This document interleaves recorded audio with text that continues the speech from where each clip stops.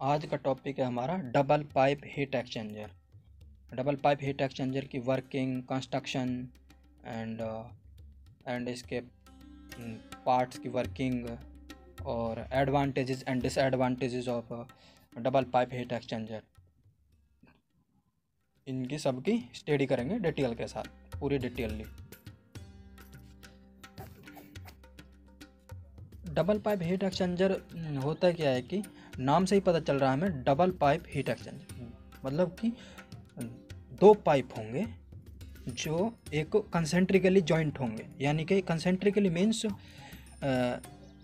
जिनका एक ही सेंटर हो, जैसे कि हम एक पाइप पे दूसरा पाइप चढ़ा देते हैं तो वो एक, उनका सेंटर एक ही होता है, और उसी को हम कंसेंट्रिकली कहते हैं, एक पाइप के ऊपर दूसरा पाइप चढ़ा देते हैं तो सेम उसी, ऐसा ही प्रिंसिपल है डबल पाइप हीट एक्सचेंजर का।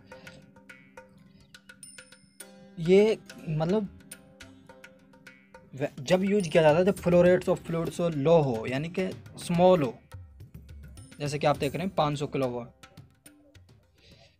They are simple construct ये एक आप जैसे कि डायग्राम में देख रहे हैं सिंपल ही कंस्ट्रक्शन है, कुछ हुई नहीं है इसमें।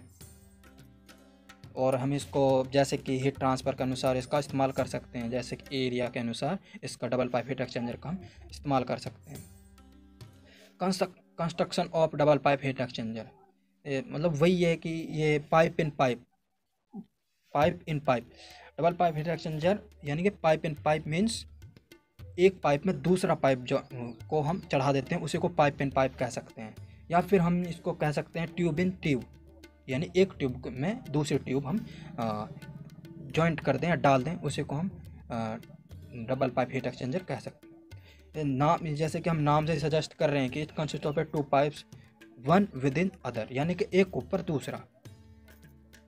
One fluids flow inside to the tubes and other fluids flow to the outside of the tubes इसी को हम डबल पाइप हीट एक्सचेंजर कहेंगे। यानी कि इनसाइड में वो हॉट फ्लूड हो सकता है या फिर कोल्ड uh, भी हो सकता है। आउटसाइड में हमारा हॉट भी हो सकता है कोल्ड भी हो सकता है। वो हम फ्लो uh, कराते हैं एक साथ में जैसे कि हमारा हीट ट्रांसफ़र हो जाए। इंडस्ट्री में अक्सर ऐसा इस्तेमाल किया जाता है जैसे कि आप डायग्राम में देख रहे हैं। ये नंबर ऑफ़ पैरल ट्यूब्स हमारी जॉइंट हैं।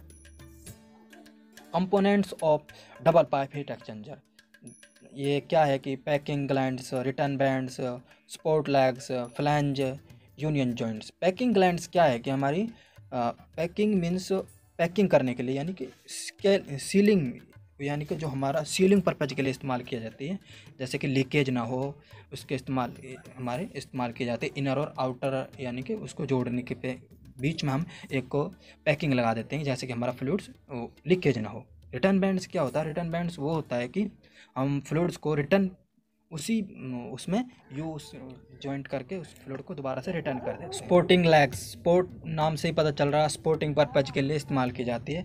जैसे कि हमारा इनर पाइप हो, उसको एक ही पोजीशन पर होल्ड कर ही रखे तो हम स्पोर्टिंग लैग का इस्तेमाल करते हैं। फ्लेंज क्या है कि जो हमारा आउटर पाइप था, उसको उसको हम फ्लेंज के साथ जॉइंट करते हैं।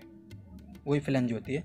यूनियन जॉइंट यूनियन जॉइंट क्या होता है कि एक यू यू टाइप में एक जॉइंट होता है, उसी को हम यूनियन जॉइंट कहते हैं, जो हमारा इनर पाइप के साथ जॉइंट होता है।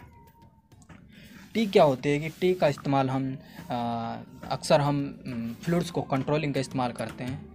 और यानी कि और डायरेक्शन को चेंज करने के लिए भी हम टी का इस्तेमाल करते हैं। बेसिकली इसका इस्तेमाल हम फ्लूड्स को कंट्रोलिंग पर्पज़ के लिए इस्तेमाल करते हैं। जैसे कि आपने देखा होगा कभी भी आ, वाटर की सप्लाई को हैंडलिंग कंट्रोलिंग करने के लिए हम टी का इस्तेमाल करते हैं। एनुलस क्या होता है कि हमारा annulus space between two pipes इसी को हम एनुलस कहते हैं। जैसे कि हमने एक पाइप के अंदर दूसरा पाइप डाल रखा जैसे कि डायग्राम में देख रहे हैं। तो इन दोनों के बीच में जो डिफरेंस बन रहा है उसी को हम एनुलस स्पेस कहते हैं। और जैसे कि हमारा दोनों फ्लूड्स ईजिली बह जाएँ।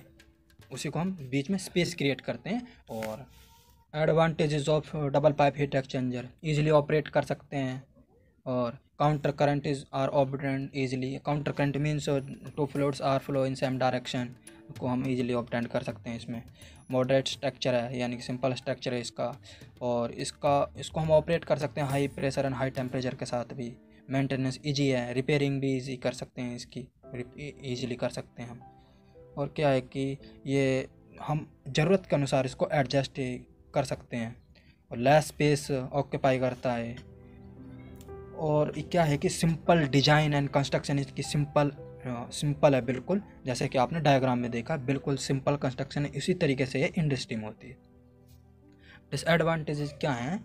Disadvantage of double pipe heat exchanger double pipe heat exchanger का सबसे मेन एडवांटेज क्या है कि इसको हम डर्टी फ्लूड्स के लिए इस्तेमाल नहीं कर सकते, क्योंकि वो स्केलिंग जमा देता है हमारा, वो पाइपों में तो हम हीट ट्रांसफ़र इससे डिक्रीज हो जाता है। और इसका इस्तेमाल हम एक्सपेंसिव और क्योंकि, और ये एक एक्सपेंसिव है एक्सपेंसिव है double pipe heat exchanger